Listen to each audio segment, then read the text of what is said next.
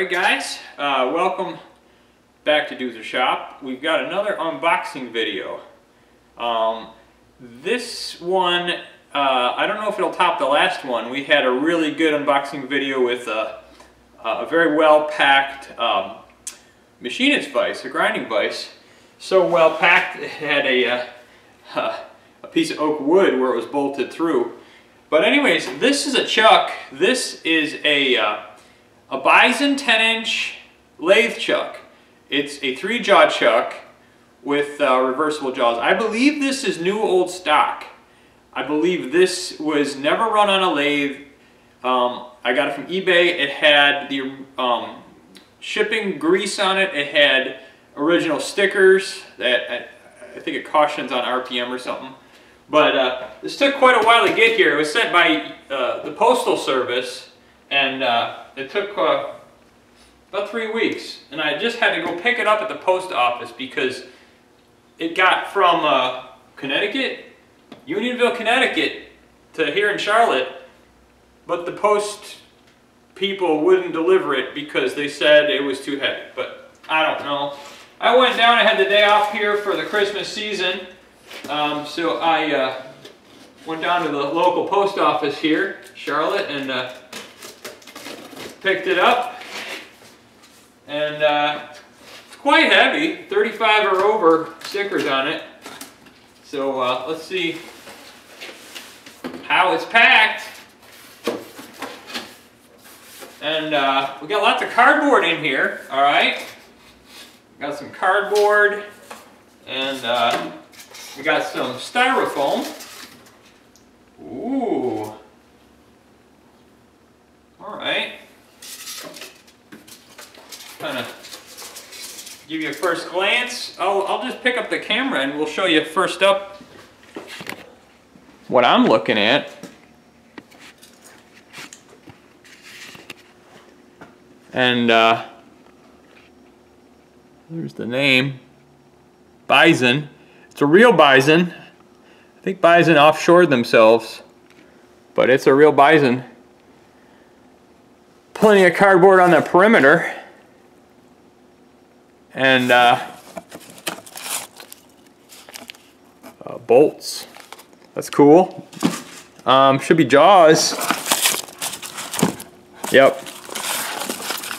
Get the nice uh, hard jaws in there. At least it's not packing peanuts. But I'd say it's well packed, you know?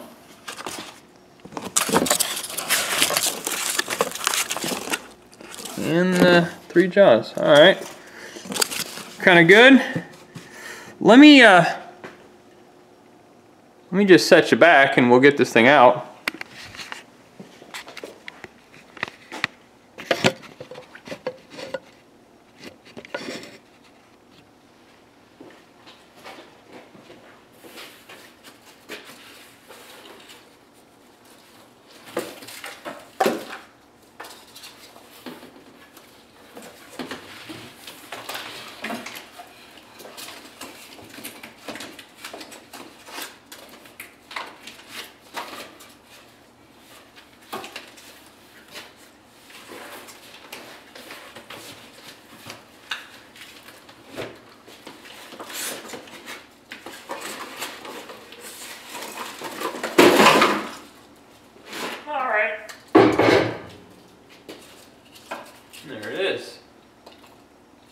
Got a,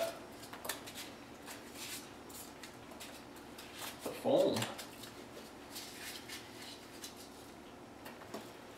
I think this is original.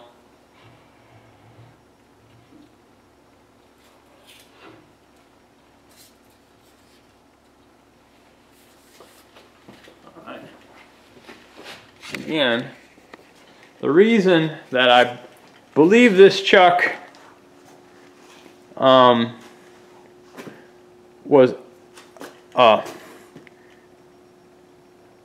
never used. It has the sticker on it. Read instructions. Do not use any extensions on the wrench. Do not set rotation with wrench and chuck. Use the correct size chuck for the gripping of each job. Okay, so I gotta think that this chuck is never been mounted. I just, it doesn't look like it's ever been mounted. Looks like it's got three pinions. And uh, like I said, the Bison moniker there, the maker's mark.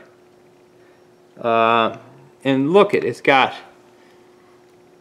I think that's factory grease because it's got like this like peanut butter I've bought brand new bison chucks before for my lathes. I, I haven't bought um, actual brand new from I think Enco or J&L or whatever. But uh, it's got the original peanut butter that I remember and that sticker. So anyhow, um, quick video. Nice chuck. Um, Nice hard jaws. I mean,